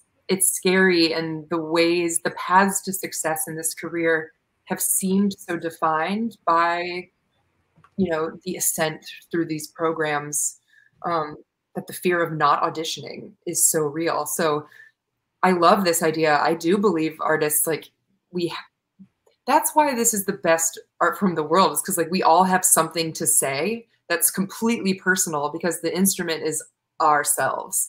So there is a place for everyone's voice and i think what morgan said is so important like you know companies are going to hear you and they're going to want your voice. Um, but being able to pick that yourself again how like how it's so hard and I it's a it's it's a level of self-awareness that is very requires like a lot of maturity Mm. Mm. and like potentially sometimes i think like a lot of therapy that young artist programs don't pay you to be able to afford you know to really figure out who you are and what you want to say takes and like like who you want the world to see you as Yeah. And then figuring out how to not just know intellectually how you want the world to see you but then how to present that that's a lot more complex that's like i don't know is that something you even want from 20 somethings or like people in their early 30s like the dynamic of change to me is what's exciting about young people is that they could be anything Yeah. Right. but you know, I'm also like not hiring anyone. So well, well, I think that I think that they're all great points, right? I think that everything that we've talked today talked about today are all great jumping off points. So it's about keeping this dialogue, keeping it open, expressing how we're feeling in a way that is accessible, I think, because a lot of times we tend to keep it shut, bear, you know, grin and bear it, right? And I think that we can't do that anymore. We have to let people know that there's an issue in order for them to change. We have to keep using our voices boldly in order to foster those changes. And we have to keep doing things like, you know, like this to be able to express and tell these companies that we may not be able to necessarily have a seat at the table, but that you they're listening, they're watching, they're listening they're, they, a lot of companies are trying to change. And I think that these kind of discussions that we're having and, and trying to foster for the future are are so important and so vital to that. Um, and I I, I kind of cut off a little bit because we have to wrap up. But um, I gotta go to church. right. But I I wanna I just want to thank you all for um, coming in today, expressing how you felt, the amazing conversations we had. Uh, remember that the this can be watched again. So companies that are watching, people who are who are out there trying to find new and innovative ways of thinking, um, you know, you can always go on and listen and watch, and you can access Mary Hollis at MH Hundley on Instagram, and you can access Patrick at PDS Tenor on Instagram and start having these dialogues with people. We need the dialogues. We need to keep talking about these things. And um, I, I just want to. We're about to close out, and I know we have. There's so much more to talk about. So maybe we can come on and you you all can do like a part two, because I would love that. Have people submit questions, and yeah. happy to talk about anything. I would love that. So um, maybe you know put some questions in the chat that you'd like to see for next time, and um, before we go, I just want to say if you're enjoying this series, please consider making a tax deductible donation to support What's the Tea and other offerings from Aural Compass projects. Um, you could do it at our donor box that is linked in the comments or donate to Venmo at Aural Compass. Uh, the donations that are sent out today will go directly to the artists that were featured today. So please, if you can, donate donate what you can because time is what money, honey.